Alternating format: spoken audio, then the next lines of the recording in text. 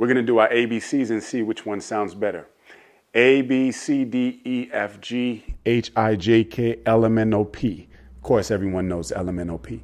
But I just want to see which one sounds better. Now, besides the audio test, there's so many great features to the Tascam X6. I mean, you have a multi-track recorder.